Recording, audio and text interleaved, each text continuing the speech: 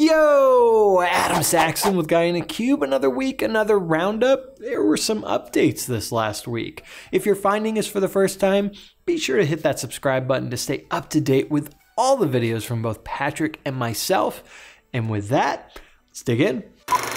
David Eldersveld's got a blog post talking about do we need slicers anymore? This blog really goes through and looks at the differences between the filter pane and slicers and really talks about the fact that for basic slicer functionality, filter pane's probably enough. And if you want to get into more complex scenarios, such as having a slicer or filter type operation on specific pages and not necessarily all pages within your report, then maybe slicers are the way to go. So if you haven't checked out the new filter pane, be sure to check out this blog post to see hmm, maybe can I update my report, get rid of some of those slicers, move them over to the filter pane, and call it good. Chris Webb's got a blog post looking at privacy levels inside of Power Query and M Syntax.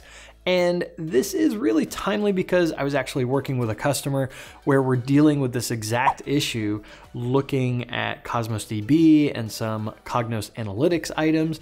And Chris does a good job going through the scenarios of where privacy levels are going to come into play, how the actual web service, you can't adjust those privacy levels. You can adjust those privacy levels from the service perspective if you can force it through the gateway, but not all data sources can go through the gateway. He also looks at an interesting case of using data flows to actually accomplish this task as well because from a data flows perspective you can actually tell it to ignore those privacy levels and actually do the combine anyway so that's pretty cool but it's also dependent on what data sources are available from the data flows side of it. A lot of stuff to unpack in this blog post. I definitely recommend you check it out and see if this would help you in a given scenario that you may be facing trying to merge two different data sources together we got the Power BI developer community December update. That's a lot of words. In this update, there were a couple things focused on Power BI embedded and just regular developer items, so the APIs and whatnot. There was an article focusing on best practices for loading your reports, so definitely check that out.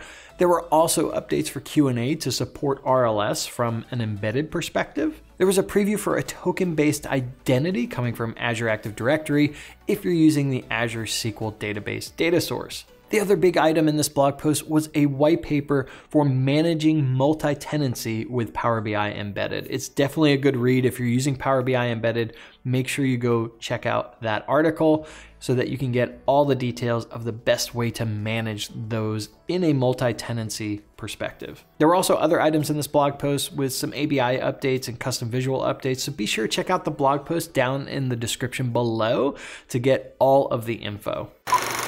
We got a January update for Power BI data flows, and inside of this blog post, it calls out that there is more data source supportability for data flows. So this is up to 47 data sources now. There were a bunch added to the UI, and there were even more added behind the scenes, including Google Analytics.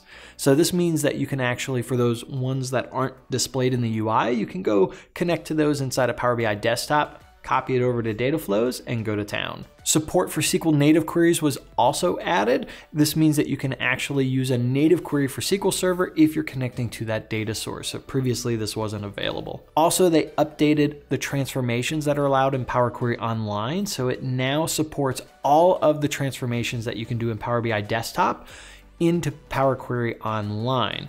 So even if those aren't available from the ribbon bars and the UI inside of Power Query Online, if you do it in Power BI Desktop, copy it over, they will work. Those are pretty great updates for Power BI data flows. I'm excited to see what will come in the rest of 2019 for that. So be sure to check out the blog post links down in the description below, along with links to all of the items in this roundup, including some bonus items. So go check it out.